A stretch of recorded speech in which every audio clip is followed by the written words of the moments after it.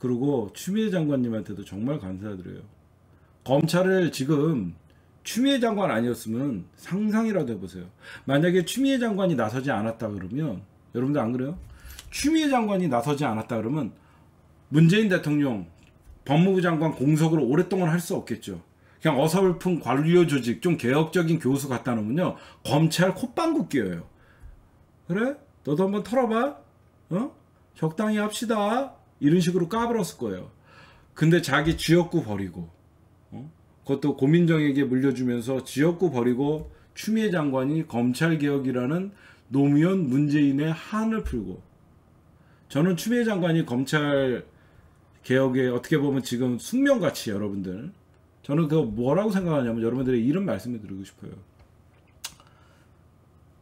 검찰 개혁은 노무현 대통령의 수건이었습니다. 그 수건을 받아서 조국과 문재인 대통령이 실시하려고 그랬고 저는 추미애 장관님이 검찰 개혁에 앞장섰던 거 그리고 아무도 선뜻 나서지 않았을 때 검찰 개혁을 위해서 법무부 장관을 수락한 거는요. 과거 삼보일배로 노무현 대통령에 대한 탄핵에 찬성했을 때 추미애 장관이 반성을 했지만 저는 또 한 번 노무현 대통령에 대한 의리를 지키기 위해서 저는 추미애 장관이 과거 노무현 대통령의 한을 그리고 그가 노무현 대통령에게 삼보일배를 하면서 사실상 사죄를 했지만 본인이 다시 총대를 메고 그 부채감에 여러분들 이거 추미애 장관님요 언론에 엄청난 공격을 받아요. 지금 여러분들이 몰라서 그러죠. 엄청난 마음의 빚을 갚기 위해서 이거 누가 장관 하겠냐고. 여러분 생각해 보세요. 국회의원 6선이면 진짜 여러분들 제가 추미애를 지금 응원하는 게 저 뭐 빨아대는 게 아니라 입장 바꿔놓고 생각해 보세요. 국회의원 6선이면요. 국회의장도 할 수 있고요. 정말 중요한 역할 많이 할 수 있고요. 당 뭐 대권 준비할 수 있고요. 서울시장 준비할 수도 있어요. 검찰과 싸운다는 게 그렇게 녹록지가 않아요. 안 그렇습니까? 제가 이제 추미애를 여러분들이 띄워주는 게 아니라 그냥 자기 육선 국회의원 하면요. 국회의장도 할 수 있고요. 어? 국무총리도 할 수 있고 일개 장관이 아닌 국무총리도 할 수 있고요. 서울시장 준비도 할 수 있고요. 대선 행보도 할 수 있고요. 뭐든지 할 수 있어요. 근데 누가 봐도 어? 검찰과 치열하게 싸워야 되고 언론에 집중 공격을 당할 걸 알면서 문재인 대통령이 쓸 수 있는 카드가 없을 때 제가 하겠습니다. 나서 갖고 지금 검찰 어때요? 진짜 추미애 장관이니까 언론 플레이? 검찰이 여태까지 언론 플레이였다가 추미애 장관 언론 플레이에 당하고 있어요. 지금 생각해 보세요. 응? 추미애 장관의 언론 플레이 약할 것 같죠? 정치적으로 여러분들 검찰 갖고 놀고 있어요. 그래요? 예. 검찰 인사 단행. 검찰 중앙 이번에 특히 채널 A 검언 유착 사건 처리하는 거 보세요. 수사권 지휘권 발동하는 거 봐요.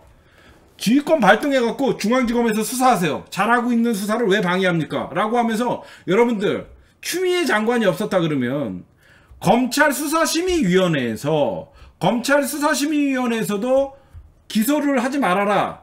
수사를 중단해라는 사건을 서울중앙지검에서 단독으로 저렇게 한동훈에게 압수수색 영장을 쳐갖고 한동훈으로 압수수색 할 수 있을 것 같아요? 다 법무부 장관이 그만큼 서울중앙지검에 힘을 실어주기 때문에 그쵸?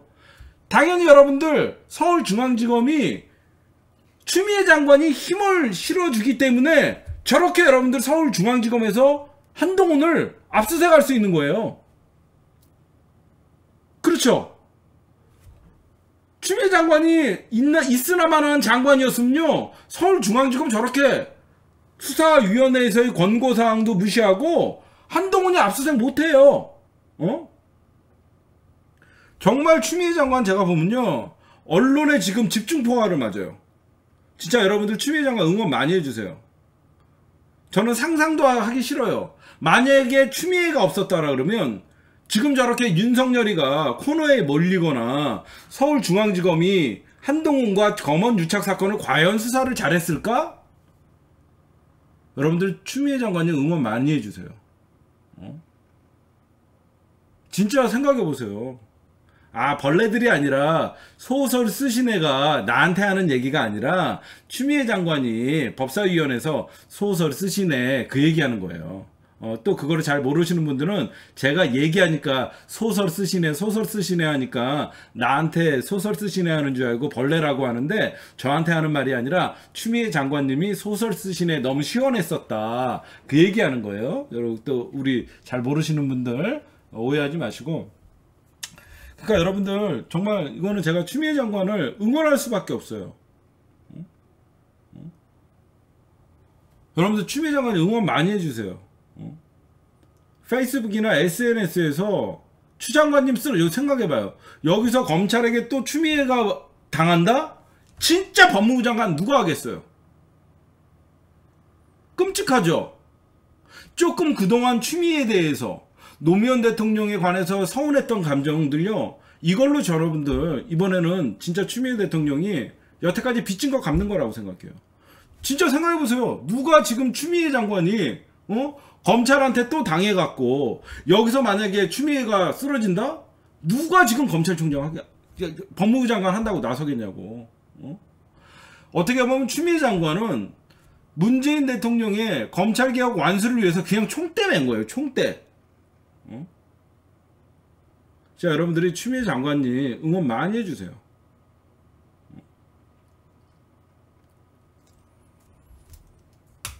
지금 만약에 추미애가 없었다면 검찰은 5만 불손 민주당 벌써 선거법 수사 나섰을 거예요.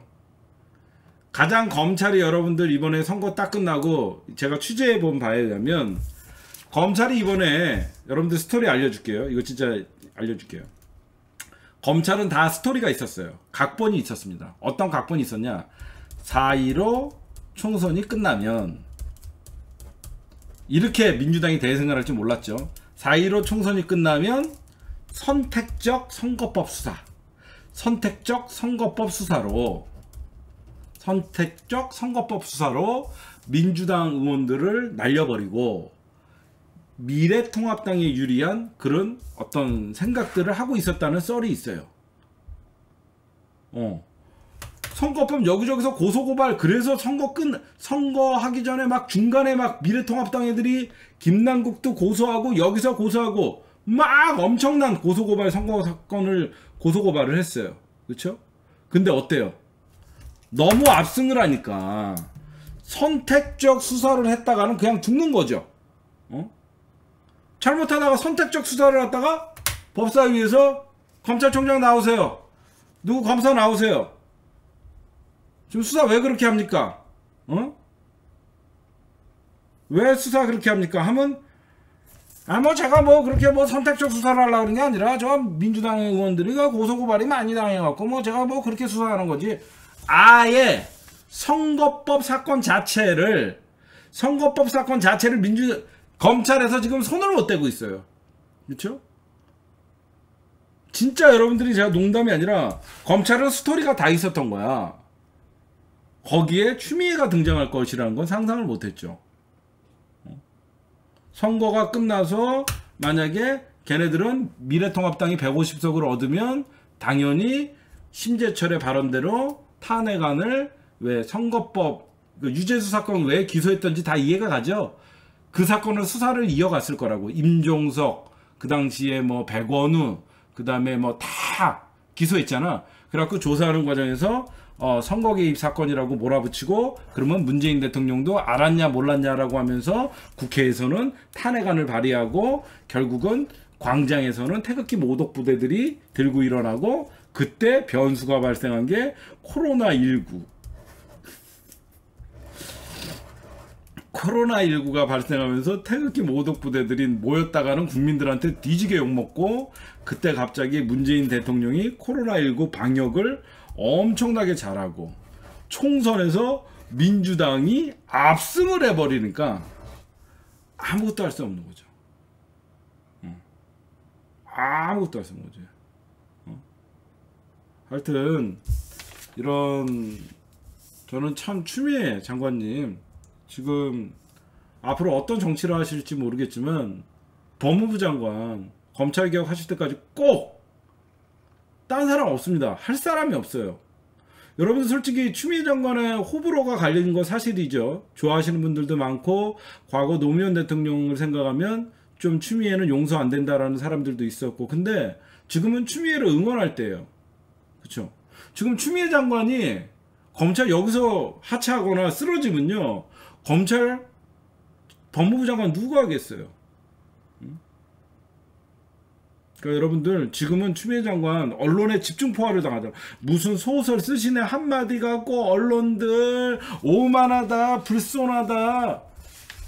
진짜 언론이라면 추미애 장관이 소설 쓰시네를 보도할 게 아니라 왜 미래통합당은 뜬금없이 응? 현직 어? 법무부 아, 현재 검찰 그, 그 뭐죠 차관 검사를 그쵸 차관 검사를 마치 추미애 장관님 아들의 사건을 봐줘서 승진한 것 같이 그 사람을 모욕하는 거죠. 이런 기사를 써야죠. 질문다운 질문을 하지 국회 수준을 욕해야죠. 장관 모셔놓고 뜬금없이 응?